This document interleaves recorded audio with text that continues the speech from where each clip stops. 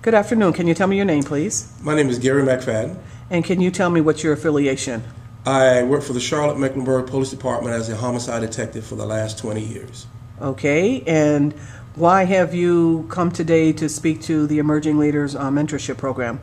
Someone gave them my name and asked me to come and talk with the boys, and I decided to take part of my day, which is the Friday, and drive up to Concord and speak with these young men because I see so much of violence in the neighborhoods, and each day I work, and so I just want to discourage some of the violence. And what message did you? I know you um, spoke with them for a long time, and they seem to be well received since I could hear them um, clapping. What message did you present to them today? I showed them um, the avenues of life, especially for their age brackets, 15 to 34. That is the number one cause of black men is homicide. Uh, and I spoke to them about that and how these things happen and what they shouldn't do and how they can curb the violence in their own neighborhoods and among their friends. Um, and I showed them um, films of murder scenes, um, showed them what I actually do working with the bodies.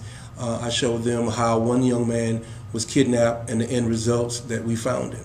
Um, and those things did touch the kids, and some kids were very receptive. Some kids got a little emotional, and uh, and that's what I want to bring. I want really want to touch their hearts. So even though I can't save all of them, I hope I can save enough of them. Did you scare fear into them? You think?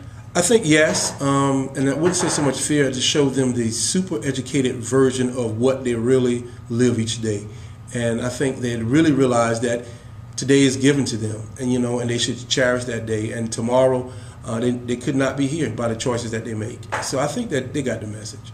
And what what in addition to that, what do you think that uh, how this is going to change them for um, you know for their future lives? Well, one young man, a couple of guys talked to me after that, and he's struggling with being with his friends now who are in gangs.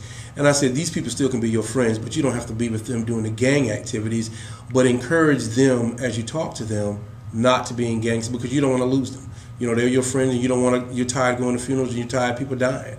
And I'm hoping that they'll take the message back and say, look, I saw this crazy guy who was yelling and screaming at us and, and I remembered him. But I told them they also have to remember if something happens to one of them and I pick up the paper, it would definitely bother me and all the people who are working here so hard during the summer.